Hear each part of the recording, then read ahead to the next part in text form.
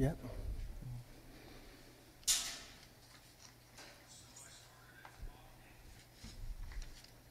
All right, we'll start with our prelude then. I think so. We'll go through the whole thing twice. How's that?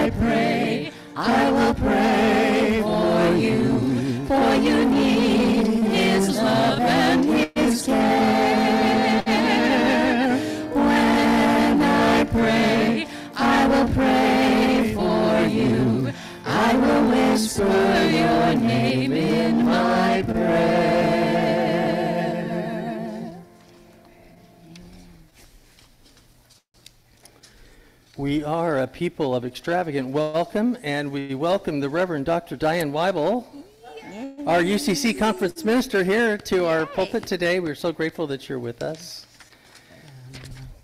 Thank you.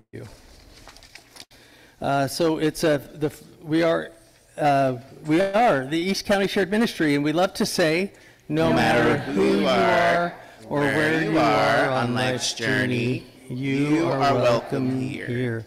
We're so grateful that you all are here.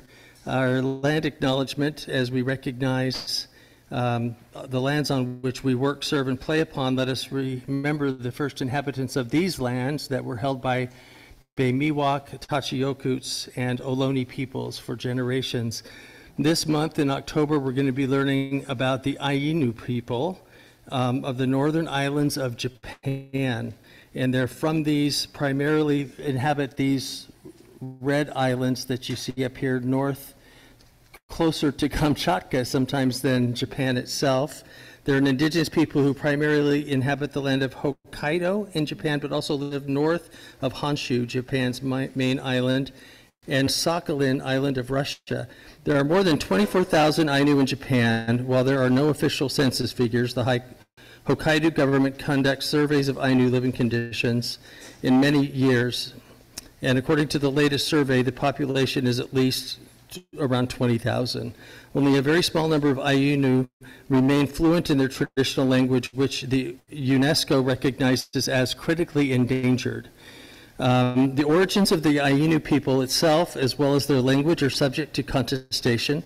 While various hypotheses have been put forward, some proposing the Ainu are linked to Mongolians, others are suggesting the Ainu are Caucasian. They are probably an isolated Paleo-Asiatic people with no direct relations, a possibility which is partially supported by the classification of their language as a language isolate, meaning that like Basque, it does not appear to be related to any other living language. Isn't that interesting? Aspects of traditional Ainu culture, which have now almost completely disappeared, were unique.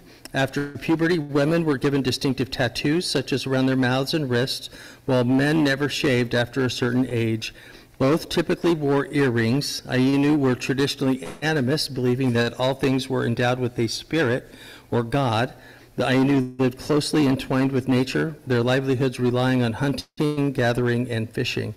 Today, their lifestyles are widely integrated into Japanese society, but many have sought in different ways to recover their lost culture and tradition.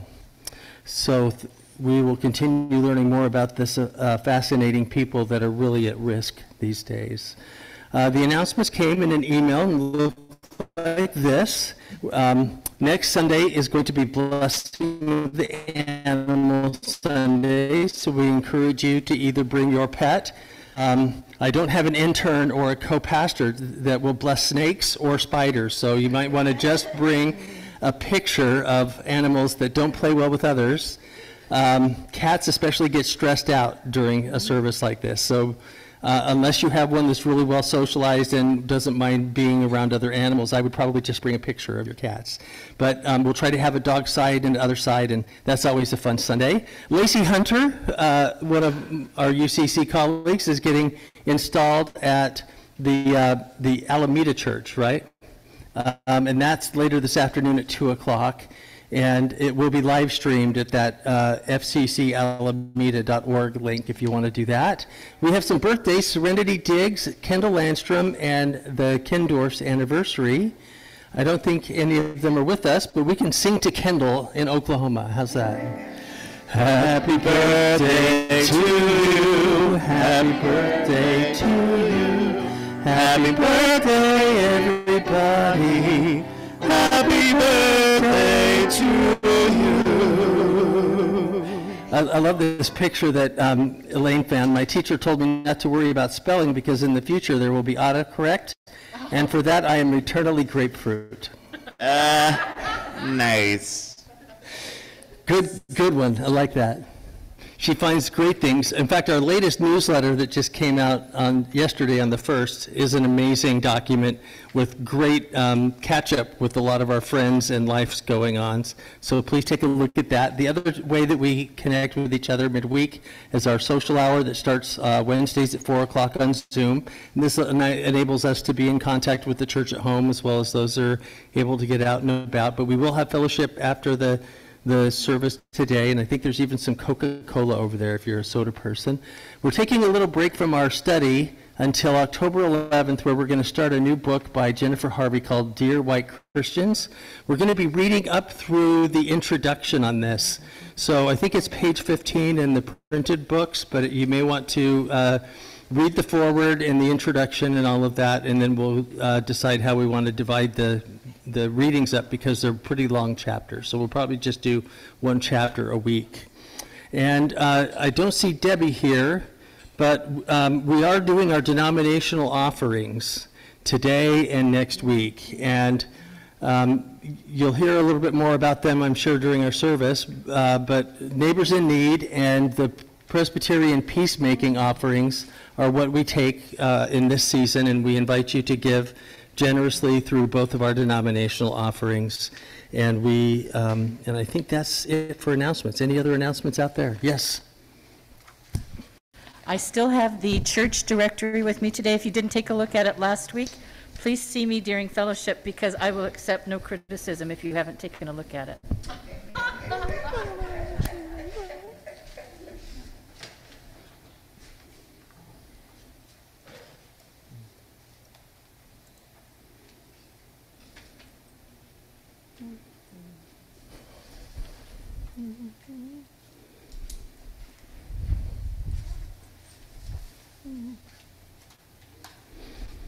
It's resetting.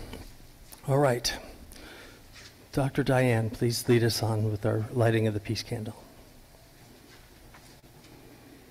I am so glad to be here with you on this Sunday as you begin to think about and consider the Ainu people of Japan.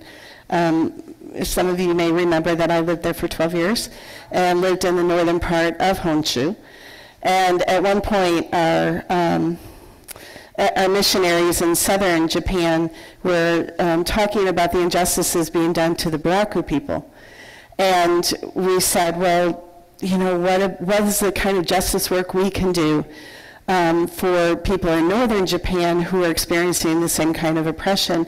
And they said, oh, everyone in northern Japan experiences that oppression and brought up the Ainu people and everything that they have been through.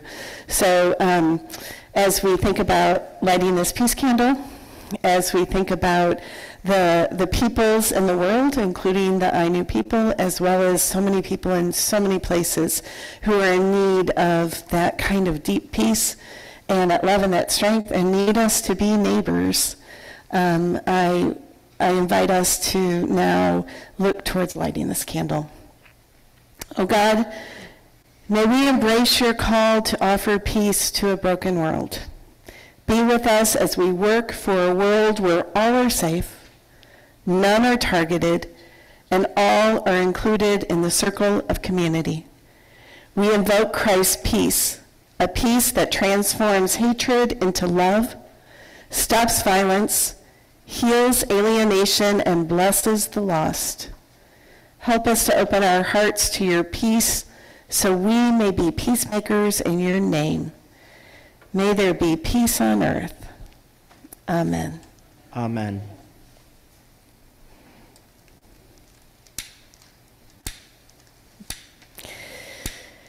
These things never.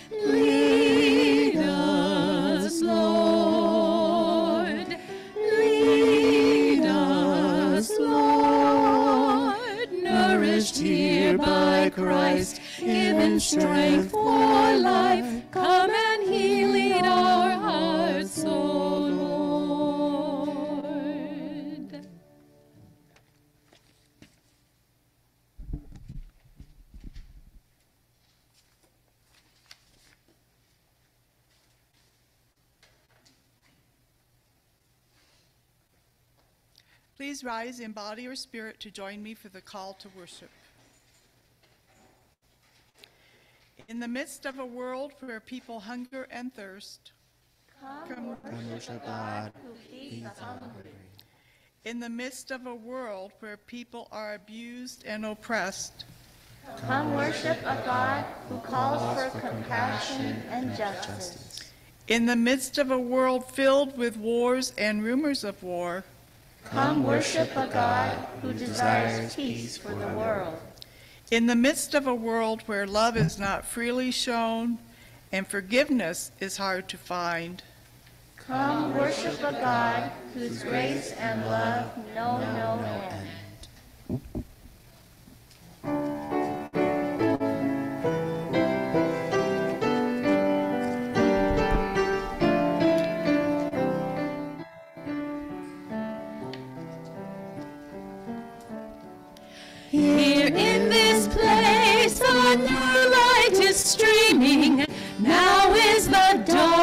Darkness vanished away.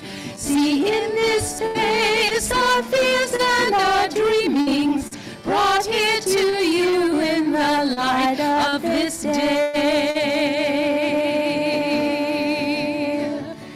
Gather us in the lost and forsaken. Gather us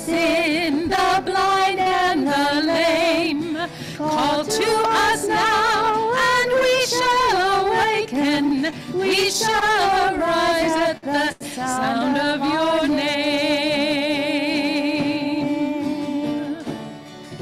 We are the young, our lives are a mystery. We are the old who yearn for your face. We have been sung throughout all of history, called to be light to the whole human race.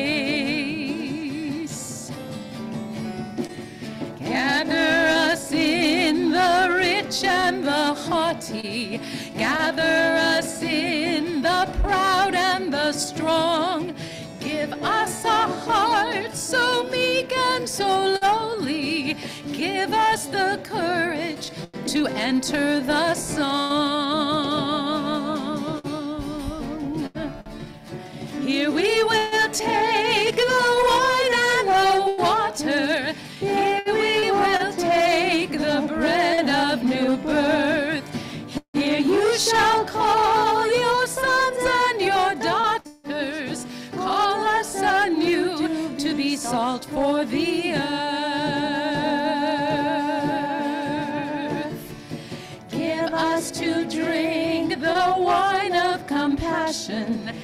Give us to eat the bread that is you.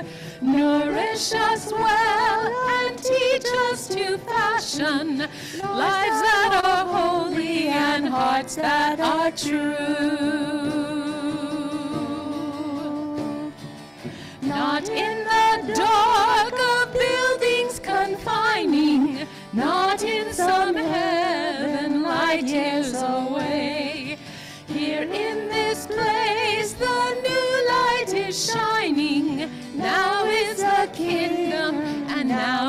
The day. Gather us in and hold us forever. Gather us in and make us your own. Gather us in, all peoples together. Fire of love in our flesh and our bone.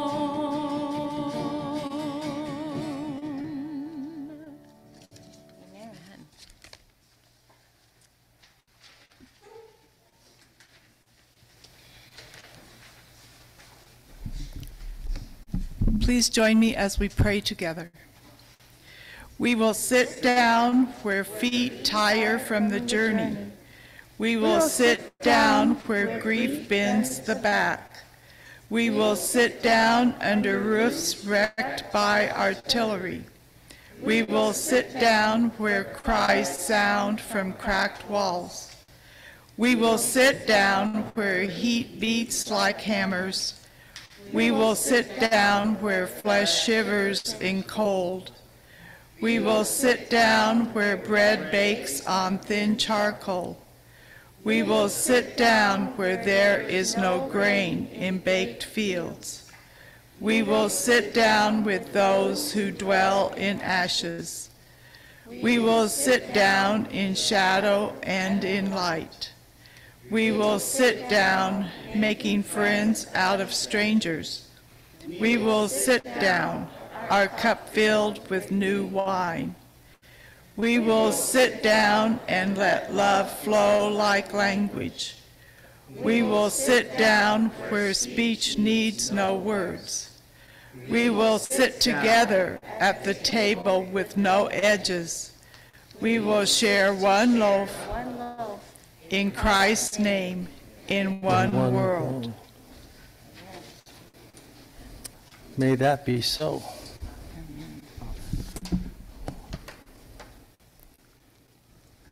Let us sing this Jewish prayer that that may be so.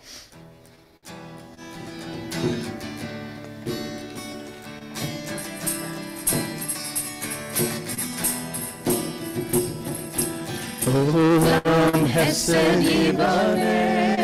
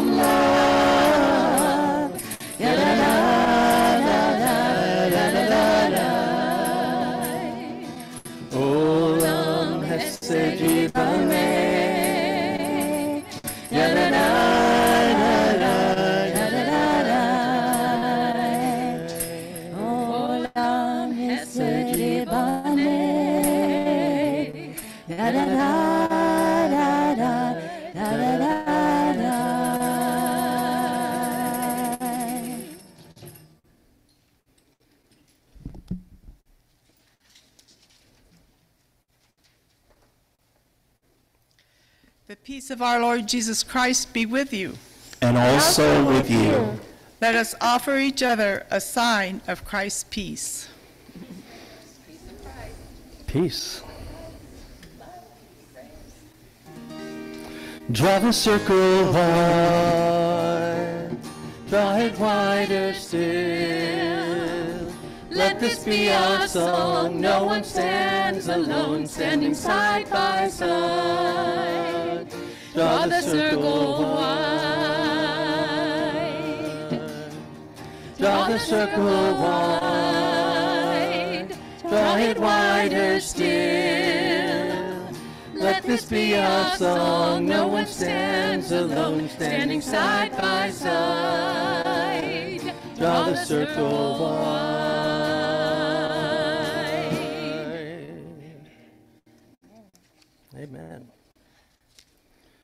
All right, our prayer families this week are Peter Tedeschi and Joan and Ken Schmidt. And Ken hurt his hand. Is that what we heard? Yeah, so prayers for Ken this week. Um, and also First Samoan Congregational UCC in San Francisco and First Presbyterian Church in Alameda as we rotate our prayers for our conference and our presbytery. Let me uh, check in with the church at home real quick. We have Ann and the Schmidts. Welcome. We can hear you now.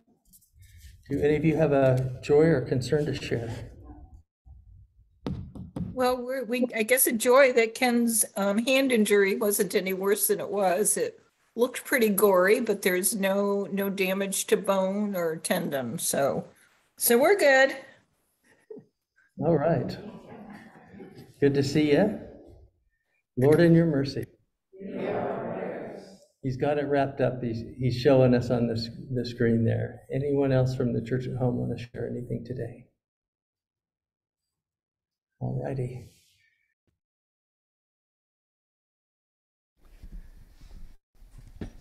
Then here, what joys and concerns do we bring with us today? Continued prayers for my young cousin, 18, 19 years old, who had a thyroid storm. And she's uh, home now, but still in serious condition with her liver. Mm. Lord, in your mercy. Um, prayers for my former mother-in-law and my cousin Melissa's aunt, who was just diagnosed with stage four ovarian cancer and may only have weeks to live. Lord, in your mercy.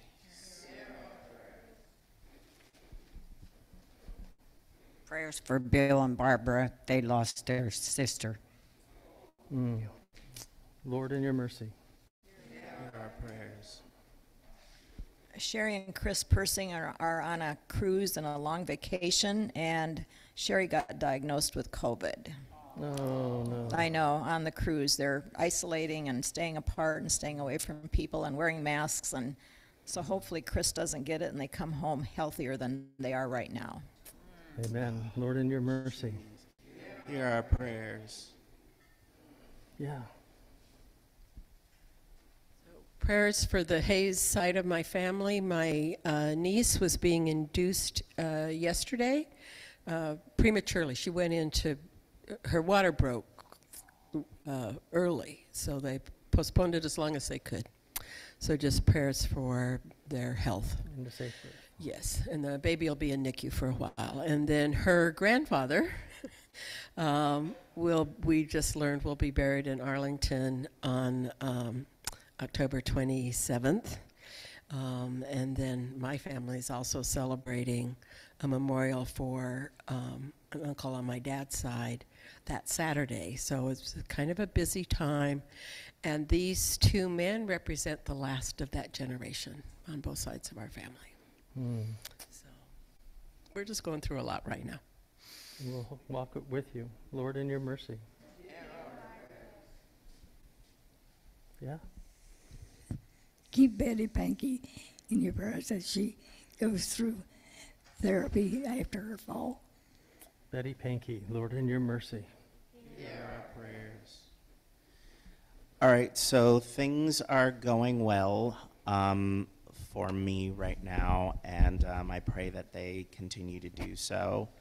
Um, I just had my second infusion um, for my UC, and things look like they are really smoothing out. Um, you know, I have, you know, with the continued blood test and stuff like that, there's no signs of TB. And um, I just pray that things still run, continue to run smoothly. And internship is going well. NAMI is going pretty well, and everything else is going well. I'm slowly starting to open. I think God is slowly opening up what I should be doing. Great news. Lord, in your mercy. Hear our prayers. Let us pray. Gracious God, as we consider all the needs, those that we know of, those that we share here uh, every Sunday, and even those that we see on our television screen, especially as natural disasters come through Florida and South Carolina and other places. We pray that you would continue to walk with us as people and remind us that we belong to each other as we see the response to the hurricane and people digging out, as we receive, as we see heroic acts of people helping others and helping save even pets. Oh God, we pray that you would continue to inspire us and remind us that we are one people, despite the divisions that we have in our political and social lives. Remind us that we have a common destiny as well, and that as we care for each other, we can create a new kind of common destiny with and for each other that can be something that lives into this world in a different way than we're seeing even now. As we see many of our institutions strained under the pressure of outside forces, as we see international conflict continue to rear its ugly head. Even as we see nuclear threats being used, oh God, help us have a, a calm place, a center in our own hearts where we know that we exist in your love and that it really is your love as that picture of, of your, your being that comes from the scriptures that Shema Israel, listen up, the people of Israel. Let us hear these words from God. Let us be the people of God. Let us be reminded that we belong to each other and that we all exist within the createdness of life which is your love. So even as we see natural disasters within that sphere, help us be the answer to other people's prayers and help us be the people you've called us to be, even in times of tension and strife such as these.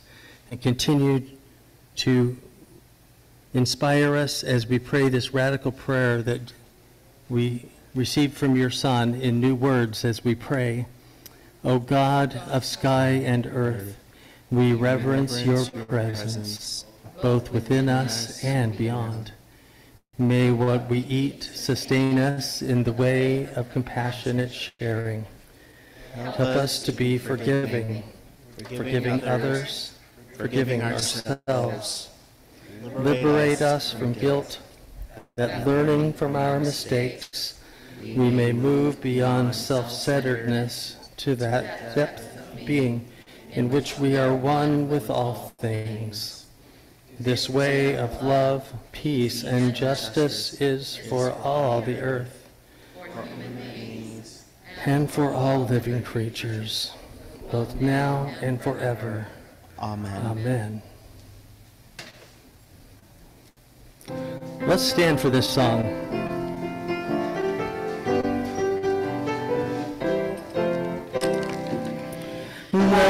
Us talents and tongues employ, reaching out with a shout of joy. Bread is broken, the wine is poured, Christ is spoken and seen and heard. Jesus lives again, earth can breathe again, pass the word around, loaves abound. Jesus lives again, earth can breathe again, pass the word around, loaves abound. Christ is able to make us one. At the table he sets the tone, teaching people to live to bless, love in word and in deed express. Jesus lives again, earth can breathe again, pass the word around, loaves abound. Jesus lives again, earth can breathe again, pass the word around, loaves abound. Jesus calls us in, sends us out, bearing fruit in a world of doubt. Gives us love to tell, bread to share, God Emmanuel everywhere. Jesus lives again, earth can breathe again, pass the word around, loaves abound. Jesus lives again, earth can breathe again, pass the word around, close loaves abound. Please be seated.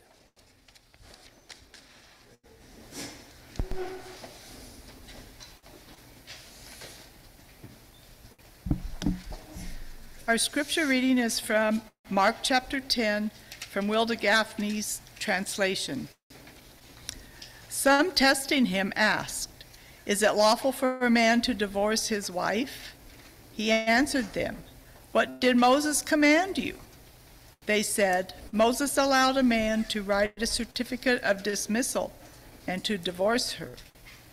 But Jesus said to them, Because of your hardness of heart, he wrote this commandment for you.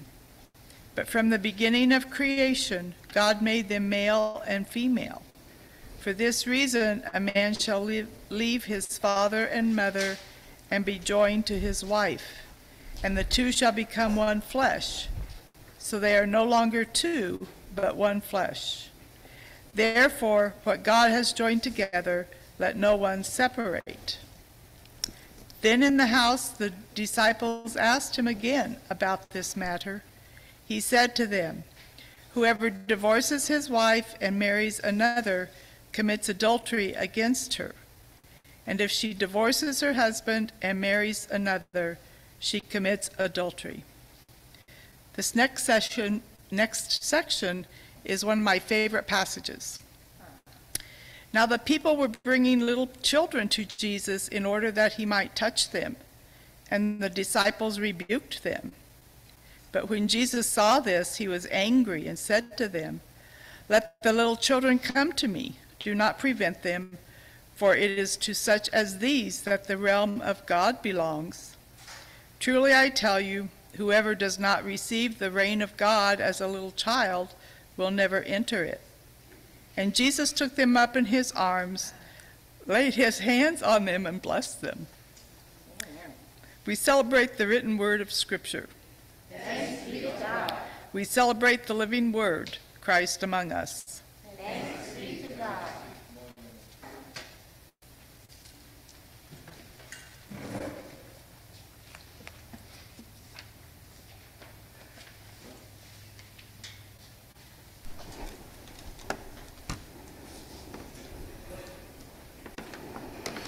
Good morning.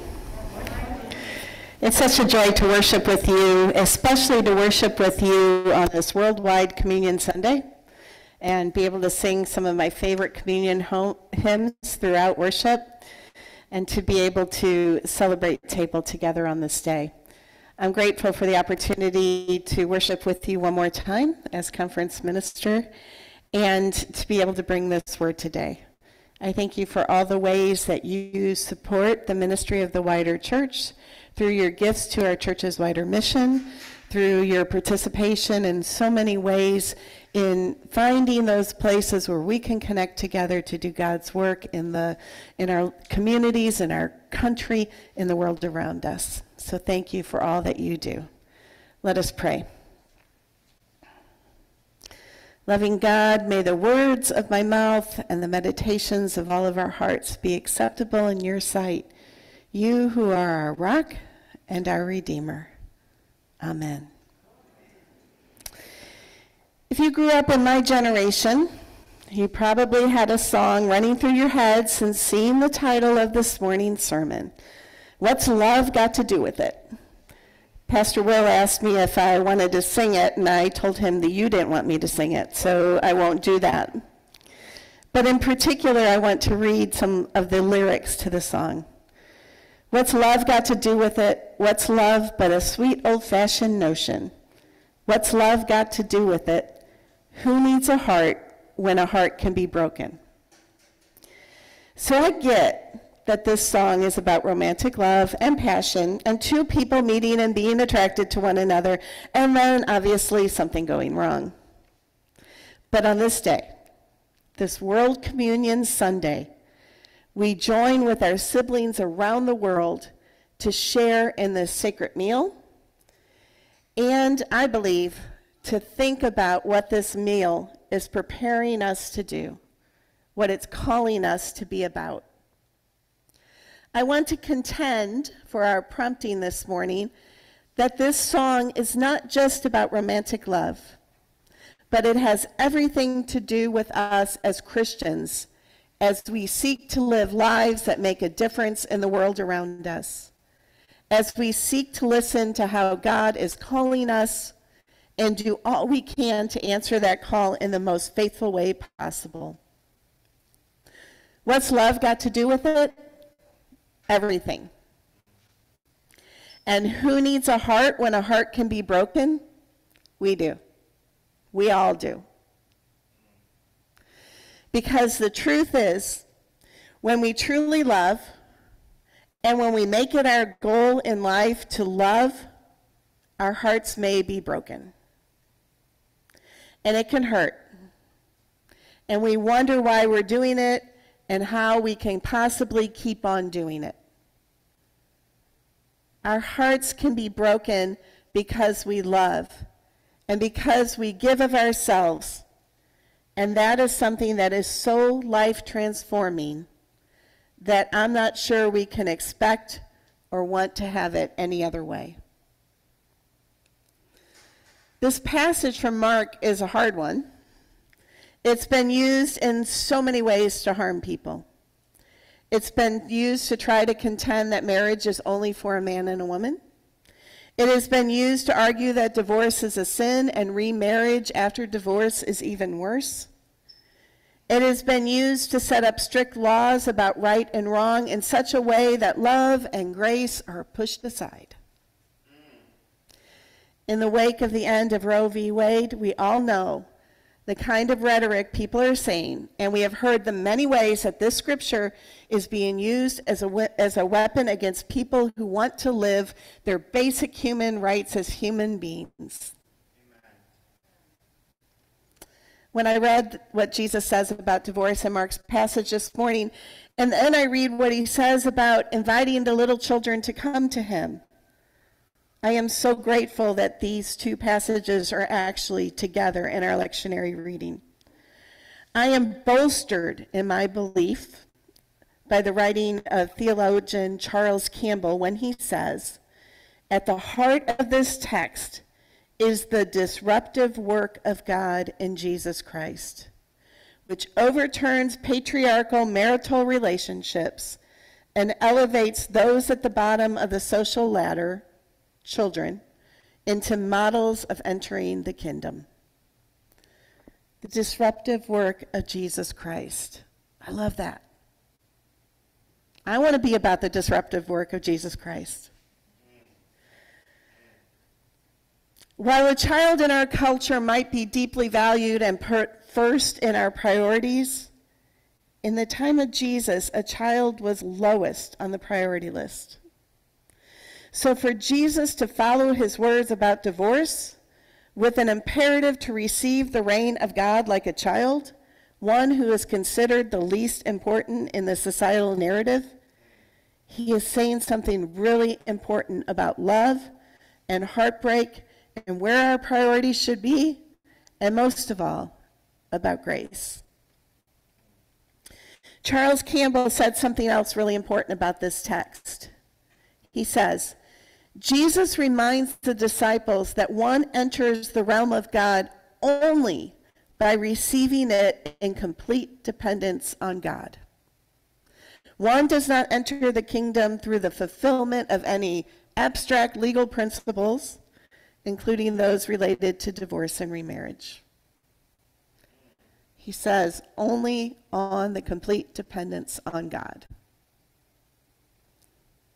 That's really hard for us, especially those of us living in the 21st century who where we believe that we can just work harder and we can just make things work and everything will be fine.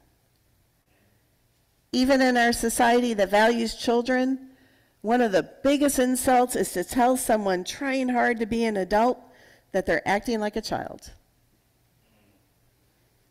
We have a problem in our society, just as when this text was written, there was a problem with priorities in that society. We all think the goal in life is to become the best and the greatest, the most important. We think we need the best job. We need to make the most money. We need to rise in the ranks to the top. We need to be seen as whatever we think society thinks we should be. A great American work ethic says that if we work hard enough, we can do anything. Besides the obvious that we just heard Jesus say, this is not what we're supposed to be about, there's a problem with this way of thinking.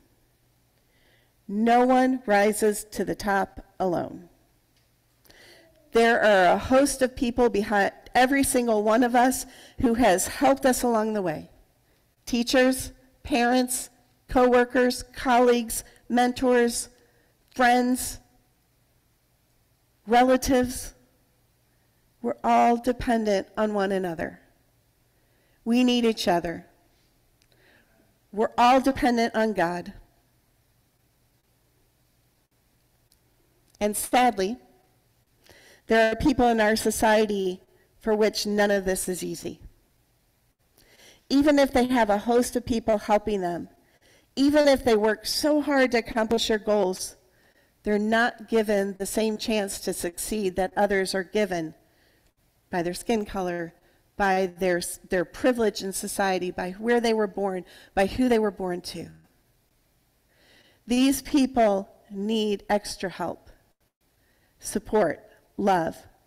They need someone who is willing to risk a broken heart in order to fight to build a society that lifts up all people, regardless of wealth, regardless of skin color, regardless of sexual orientation, ethnicity, or gender, that creates a system where every single person has the ability to lean on those people around them who are helping them and has a chance to be all that they can be.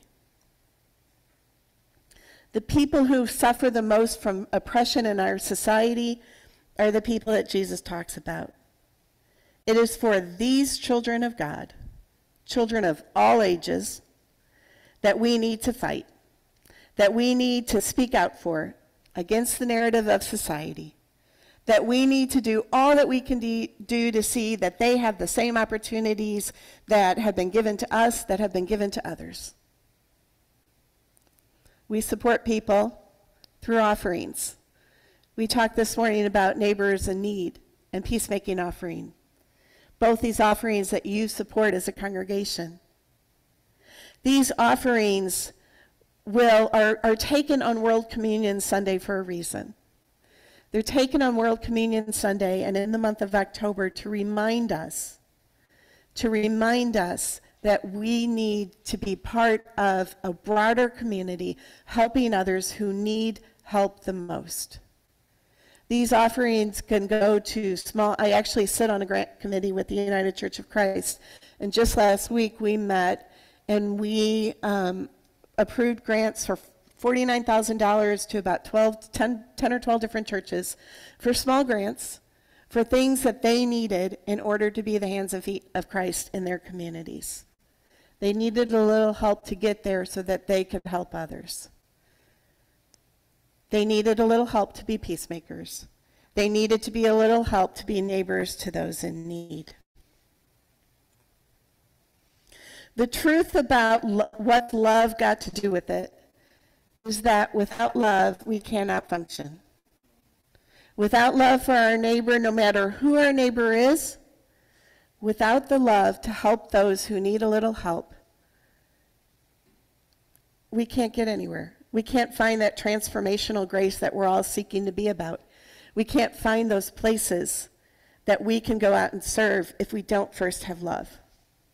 It's simple. Anything that takes away the humanity of another individual affects all of us. And we need to find ways to help. Special offerings, marches, engagement in community work and justice endeavors, seeking to understand better the needs of our community, and then responding are just a few of the ways that we, as people of faith, find ways to show love. Yes, it's a heartbreaking world. Natural disasters, what's happened in Florida, what's happening in Ukraine, and those are just two this week. All of the pain that people are experiencing, sometimes it can feel overwhelming. And we think, how can we make a difference? And yet, each one of us, embracing the love that is within us, embracing the love that has been given to us, that has been shown to us through God's love, is the way that we lean on it, we lean on God to do the work that needs to be done. When we hear about shootings in schools, when we hear about shootings of black and brown people at the hands of police, when we hear about injustice towards the Palestinian people, the effects of climate change, not just Florida, but Canada was last week, Alaska, when we hear about all the ways that people are being hurt, when we hear about the abu- abuse of women, and not just the abuse of women at the hands of intimate partners, the abuse of women in Ukraine, and the abuse of women by our own justice system, legal system. When we hear about all of this and it surrounds us, we risk becoming numb and shutting down and saying it's too much. And I'm going to turn the page on the news because I don't know what to do. And that's exactly the moment that we need to step up. That we need to remember that we have to keep fighting, that Jesus needs us to not give up. If Jesus' teaching in today's scripture and the realities of our world that surround us can meet in our minds and our hearts, I hope and pray that it wakes all of us up. I hope that it wakes me up. That if I start to feel numb, that I am reminded just how much work there is to do. and I fight off the numbness and I show up. The two parts of our passage from Mark the Pharisees attempt to trap him into answering a controversial question about divorce, and how Jesus decides to answer that along with the statement that follows Let the children come unto me, and whoever does not receive the realm of God like a child will never enter it. Both of these are an important message to all of us here this morning. Don't get so caught up in the rules and the regulations that we forget the care of the children, all of God's children. We need to trust God so much that we are still capable of getting angry in the face of injury, injustice, and pain. So angry that we will be able to shake off our numbness that threatens to settle in our hearts so that we can do something about it. Something about the heartbreak and the injustices of the world around us. I believe that numbness is a protection because our hearts cannot take another break. But that's not true. Our hearts can be broken. And when we're fully dependent on God, who will always be able to heal our broken hearts and send us out again to fight again, to keep going, to love and care for and fight for the children, children of God of all ages. When we can do that, we are reminded that the heartbreak will not stop us. Who is it that most needs our help? Who needs our love and our strength and our gifts and our offerings? What is it that we can do for those that society considers the least of these? What is it about our privilege and power that we can use not to get ahead or to become more successful in society's eyes, but to use it to get ahead and be more successful in terms of bringing equality and justice to everyone, the basic human rights that everyone needs? What can we do to make that happen? That's what Jesus is talking about. We can, we can be like the Pharisees and hide behind the rules and regulations that society has put in place, or we can listen to Jesus about another way. So the lyrics of the song really do work. What's love got to do with it? And who needs a heart when a heart can be broken? We definitely do. Children get it. No one is more quick to tell you I love you than a child. We are called to be healers of broken hearts and broken lives. We're called to go out into the world and find all those places that need us the most and bring hope and light to all the dark places. So, as we gather at this communion table on Worldwide Communion Sunday, ready to do all that God is calling us to do, we gather as the Northern California Nevada Conference of the United Church of Christ. We gather as members of the Presbytery, and I am forgetting the name of the Bay Pres- Area Presbytery, San Francisco Presbytery, to join our hearts together to make an impact, an impact that goes beyond our local churches and even beyond our country. And we do all of this because Jesus has invited us in and will walk with us and journey with us wherever we go. Amen.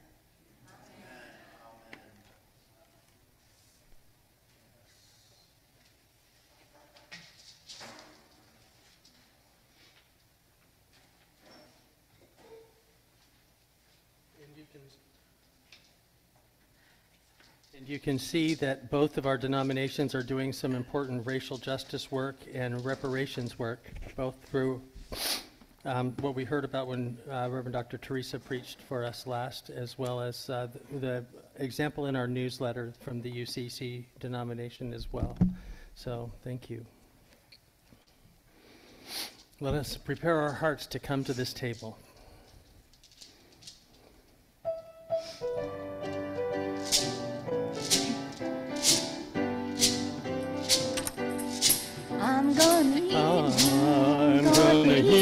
The welcome table.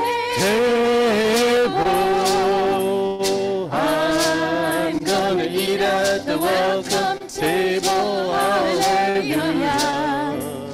I'm gonna eat at the welcome table. I'm gonna eat at the welcome table. Hallelujah.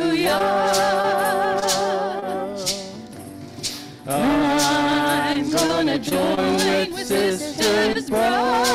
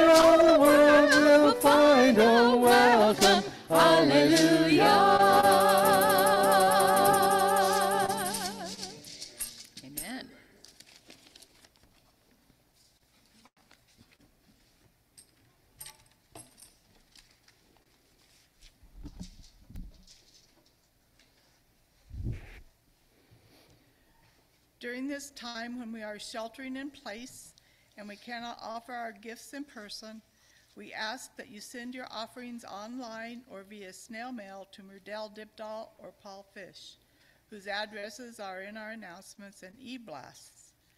And now from within our homes, we bring to God the offerings of our hearts and lives. May our gifts be used to bring hope, healing, freedom, and sustenance to those in need.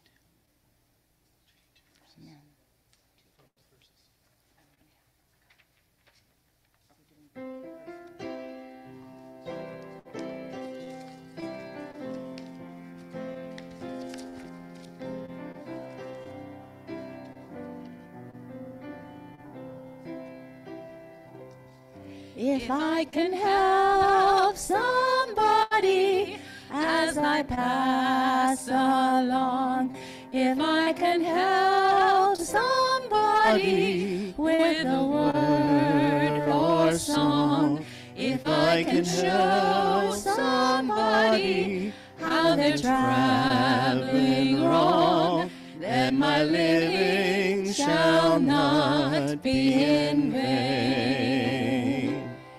Then my living shall not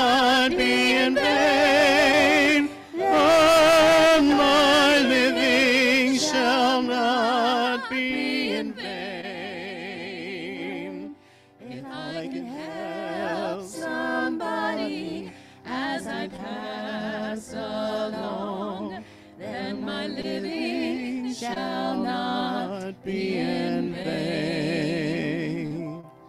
If I can do my duty as a good one not, if I can bring back beauty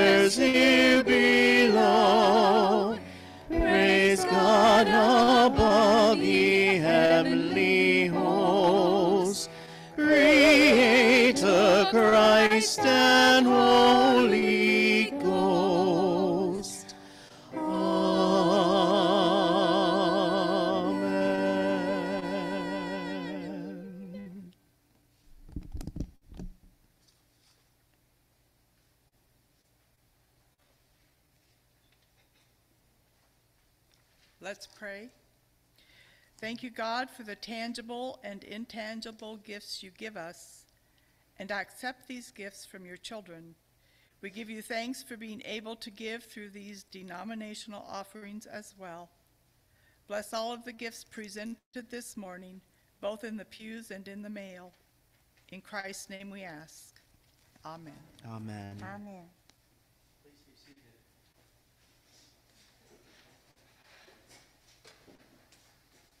When we come to this table.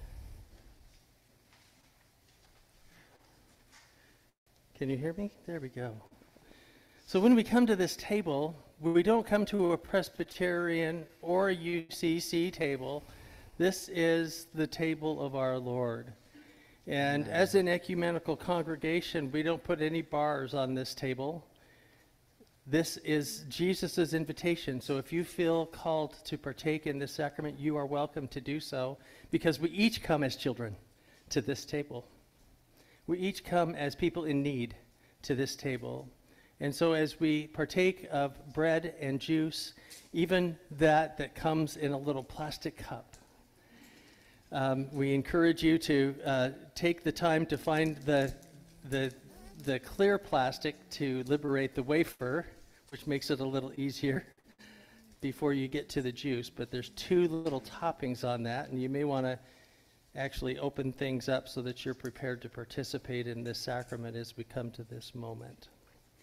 And as we do so, we come with all of who we are, including our shortcomings, to a table of grace that redefines that grace not as just the pieces that pick up the portions after we have done all that we can do, but undeserved mercy that each of us deserves. That's the irony of grace, right? Undeserved mercy that each of us deserves. And when we learn how to share that grace with each other, then we actually become a stronger community. And so this is a, lib- a meal of liberation for all people. Yeah, we remember on the night when Jesus was betrayed, he was sitting at a table like this with his friends.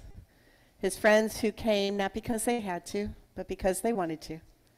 And we come today because we want to. We want to be at table with one another. We want to be at table with all those around the world. And we remember that on that night, Jesus took bread, he blessed it, he gave thanks to you, God, and he broke it. And he said, This is my body broken for you. As often as you eat it, do so in remembrance of me. And in a similar way, perhaps at the end of that same meal, Jesus took a cup, perhaps the fourth cup of a Passover meal, with all of the hopes and dreams for the liberation of the people of God that they had at such a Passover meal. And he poured that last cup and he said, Whenever you share this cup, let it be a little different than the previous ones. For when you share this cup with one another, you're doing so as a new sign of the kingdom among you, that everyone gets access to this cup. Everyone. Yeah. So now let us take the bread and in our many places receive the gift of God, the bread of life. We are one in Christ in the bread we share.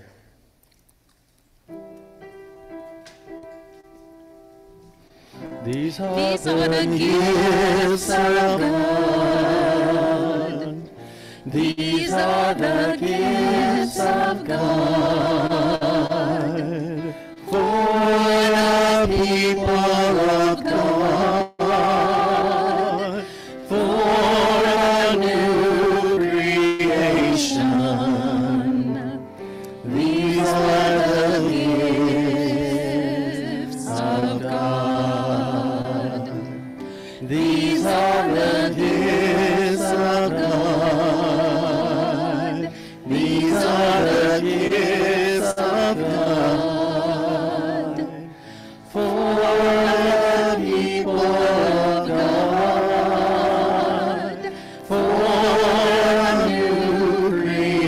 creation. These are the gifts of God.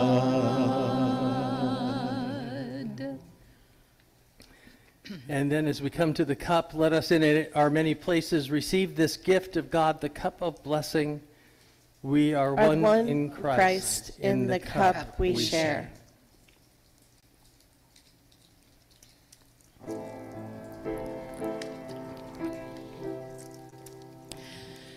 Every time we eat this bread, every time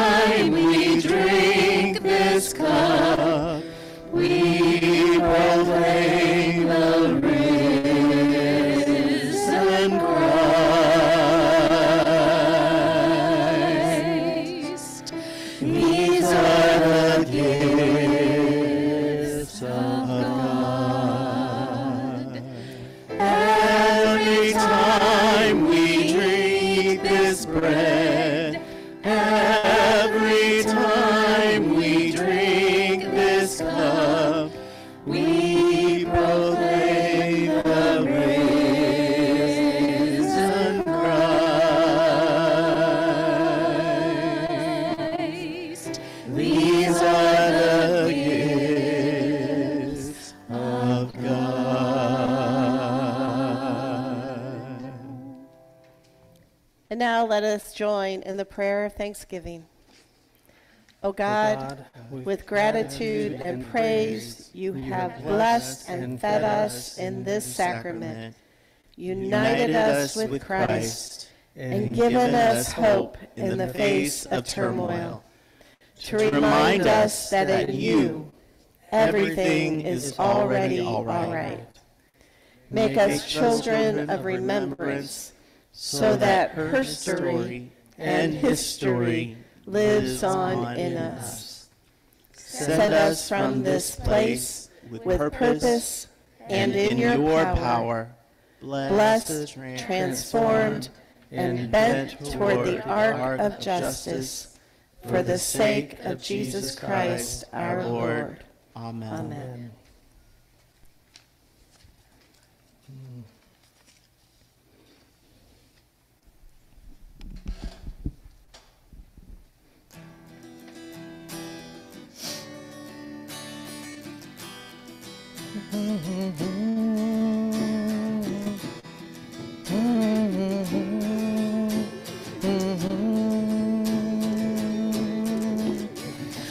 One bread,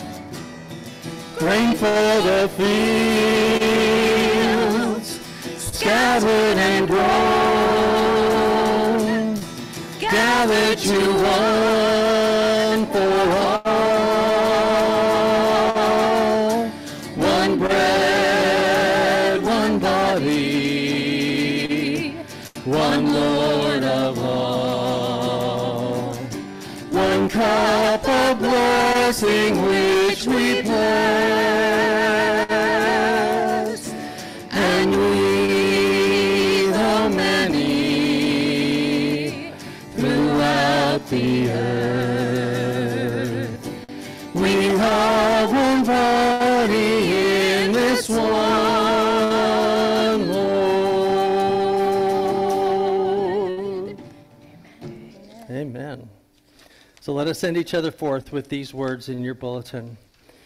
We affirm that we are part of a wonderfully mysterious universe, that all life is interrelated in one vast web, that our role lies in nurturing all life and the planet itself, that human beings are genetically one family and of equal value, that every human being has the right to the basic necessities of life, that each of us is on an evolving spiritual journey, and that we are called to work to create a world of justice and peace, compassion and respect. Now, let us prepare to go out into a world where if we do what we're supposed to do, our hearts will be full, and at times our hearts will be broken, but we will be making the difference that God is calling us to make in the world. Shu Yesu Kristo no megumi, kami no e- ai seire no majiwari ga ichido to tomo ni arimasu you ni. May the grace of Jesus Christ, the love of God, and the communion of the Holy Spirit be with you now and always. Amen. Amen. Please be seated.